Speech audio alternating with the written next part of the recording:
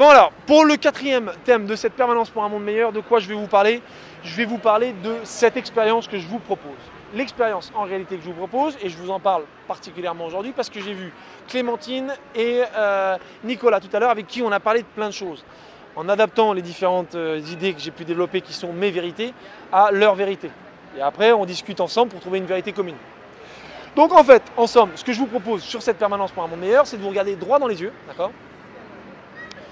Et de vous dire que je vous propose l'expérience gratuite, complètement gratuite les mecs, de révolutionner vos consciences spirituellement, économiquement, euh, socialement parlant, etc. etc. C'est du jamais vu.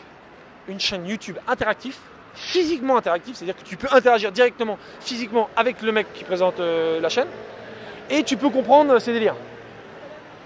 C'est de, la, de la 4D ça. Hein. Dans une sorte de dimension en plus l'être, la dimension parallèle où tu rentres, là tu rentres dans un monde différent, dans un univers parallèle.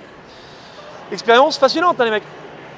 Révolution assurée, individuelle, face to face, parce que pour qu'une révolution se passe de façon complète et totale, il faut que chaque individu se soit révolutionné personnellement avant de révolutionner collectivement tout, ensemble. C'est ce que euh, me semble que Jean-Jacques Rousseau dit dans le contrat social. Il dit que pour que la révolution soit complète, il faut que tout le monde soit révolutionné. Or, ça n'est encore jamais arrivé. Mais grâce à Internet, petit challenge en face-to-face. Donc soit il faut que je passe à travers les 7 milliards d'individus, et là va falloir que je me mette, euh, je devienne polyglotte, parce que... Euh, hein. soit vous vous y mettez aussi, et puis on se met tous derrière nos caméras à passer un message vertueux de sorte de bien commun, de vérité commune. Voilà. Expérience unique à Paris. Hein. Aucun endroit à Paris vous pouvez échanger avec un inconnu, vraiment inconnu, que vous connaissez ni d'Ève ni d'Adam, avec qui vous puissiez parler de spiritualité, de vie dans un système, d'échange, de, maraîchage, de tout ça, de tout ce qui est le système, de tout ce qui est l'être, et tout et tout.